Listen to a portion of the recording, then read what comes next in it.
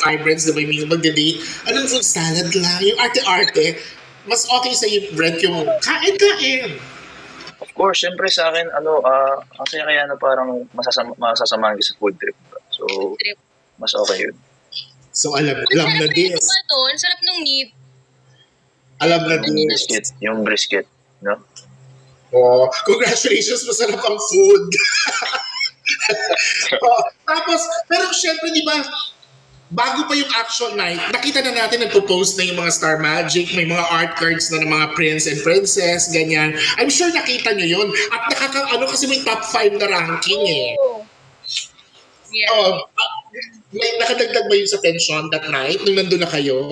For me, opo. Kasi, honestly, nung una, akala ko wala lang talaga siya. Like, parang, okay lang, kahit, okay lang talaga kahit hindi ako manalo. Pero, um, nung ni- ni- nilabas na yung results, like yung partial result, like, uh, di ba, uh, three, almost three days before the actual prom, yung mga nilalabas na ng mga result, ganyan. So, nung bumaba ako sa top 1, parang na-feel ko din yung pressure ng mga fans kasi alam ko na gusto nila akong manalo, gusto, gusto nila manalo kami.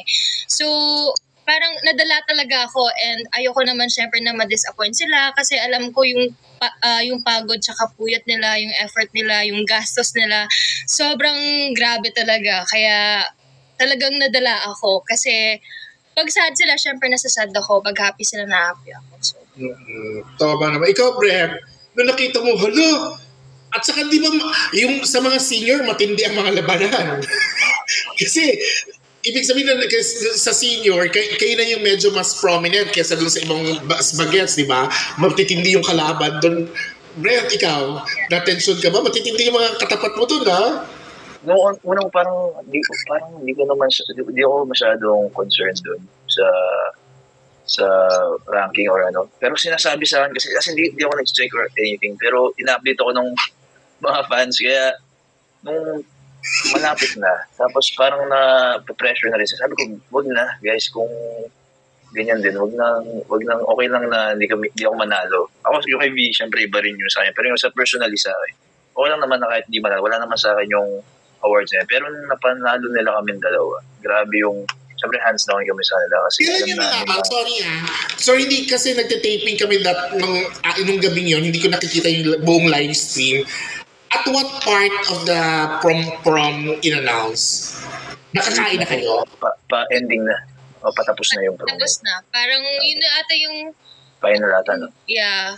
Uh, May ano kayo nun? May idea na kayo? May ganun ba? Parang ah, eh, ako yung nanalo nito. Ako yung, may ganun? Wala. Wala, di, hindi lang kami nag, ako, ako, hindi lang siguro ako nag-expect. Parang ayoko isipin, ayoko mag-overthink about it kasi wala, pinaubahay ko na lang kay Lord ko. No matter what happens, parang alam kong tatanggapin din naman namin ng buo. So, yeah. Pero magka-holding hands kayo habang nag-announcement. Hindi. separate na in-announce. Ah! Yung, Separate pa? Holding hands universe. Universe. Hindi, hindi, sorry nga kasi hindi ko napanood. So, separate. Akala ko kasi nasa, ta- nasa kanya-kanya kayong table, magkatabi yung mag-partner, gano'n. Ah, oo, opo, opo. Ganun, ganun, oh. magkaka-table. So, magkahawak kamay kayo sa table? Hindi, hindi. Sino mga ka-table nyo? Mamarites ako sa mga ka-table nyo, kaya magsabi kayo ng totoo. Hindi naman. Tsaka, kasama namin doon sila Don Bell, Kaumaya, Edward, BJI, si Blythe, tsaka si Richie. So, like, ano lang, syempre, ano lang, abang-abang lang, ganyan, naka, may sarili-sarili kaming, Pero sa, parang, parang nasa, nasa jowa table kayo, no? ano, Jo? Huh? Nasa parang nasa magjo-jowa table kayo. Charot! Parang lang, sabi ko, ito naman. No? Hoy, V, huwag kang huwag mo kamay ngitian. Kasi ano, Donbel, ano yung Donbel? Richie and Andrea, o alam mo, sweet-sweetan yun. Papatalo ba kayo? Eh, sila yun eh. Sila yun eh. Eh, paano kayo? What, ano, ha? Sagutin mo nga, Brent. Ewan ko dyan kay Ate Dad. Ah, isa, may Grabe yung ano, yung panggigisa sa atin ha. Pero yung naman kasi na yun, yung prom na yun, yung goal namin ni Vino is really get to know each other. So, I think na, nakuha naman namin yung gusto namin. That, Ah, talaga? Did you get to know each other better? yes, nakapag-usap kami ng masinsinan in, parang kahit ang ingay, parang, di ba, parang nasa table lang kami na, nasa, lumipat kami ng table eh, parang Yeah. walang tao. Nagkwentuhan na talaga. Lumayo kami dun sa dance floor. Uy, nagre-react yung mga tao, Uy, anong nakuha ang gusto? nakuha yung gusto nila magkakilala. yeah, now we get to know each other better. Oh, keyword daw masinsinan. Yung may sarili kayong mundo, kahit makaingay sila, nakafocus sila sa isa't isa. Oh. So, nandun na tayo sa announcement, mag-holding hands, ganyan. Oh, vibrant po, ano yan? Boy taps. Thank you po. Grabe. Oh, so, so, nung nandun na, nung in-announce na, sino ba unang in-announce mo? Girl, boy? Kaya po. Boy. So, nung na, na, na, na- na-announce si Brent V, mas lalo ka mag-tense. Hindi naman. Actually, mas ano, mas parang kumalma ako kasi uh, at least, di ba, he won. And, Proud ka. oo, na-proud ako, syempre. baby boy ko nanalo ganon, proud.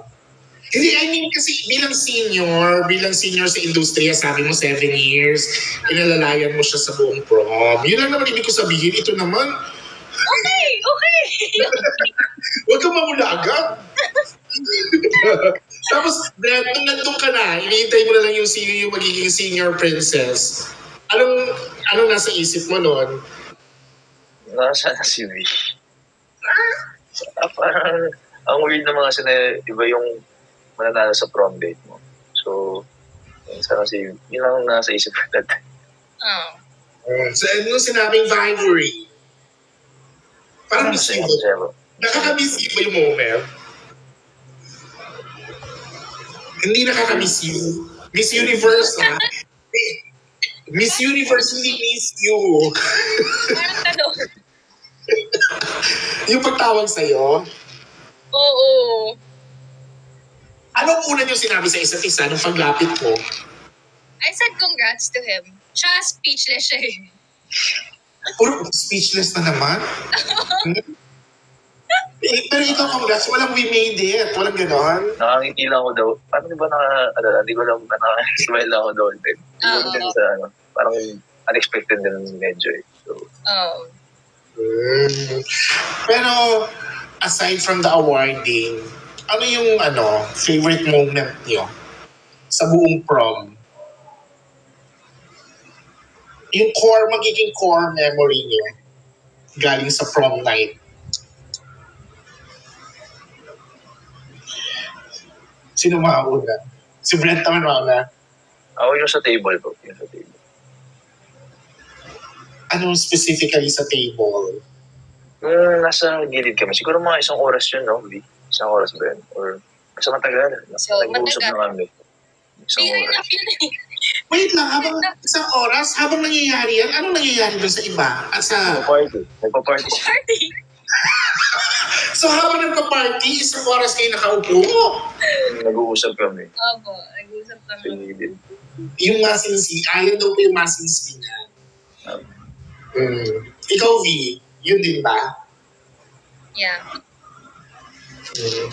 Baka sumobra naman ako marites, pero ito, kung okay lang naman, ayun na pag-usapan nyo. isang oras yun eh. Sa isang oras na yun, baka naman merong detalye doon na pwede ma-share. Siyempre sa amin na lang yun. Too many to oo. Oo. Sa amin na yun, sa amin na yun. Isang oras naman yun eh. ano ba? Siguro, Lahat pa yung is- isang oras na yun, puro palalim ba yung ano, malalalim ba yung masinsinang malalim ba? Or walang mga kababawan? Wala eh. Parang ano talaga, get, getting to know each other talaga. As in, Hmm. kung ano yung mga um, past struggles, mga ganun. Ha? Habang nagpa-party, napag-usapan yung mga past struggles? Oo naman, syempre, like, uh, we, we, like, madami talaga. As in, like, yung mga, yung getting to know each other questions, like, about their families, about uh, showbiz, about uh, career, about uh, school, stuff like that. And about, like, anything under the sun. We talked about it. Eh, napag-usapan niyo rin ba na kung what's next for us after the prom?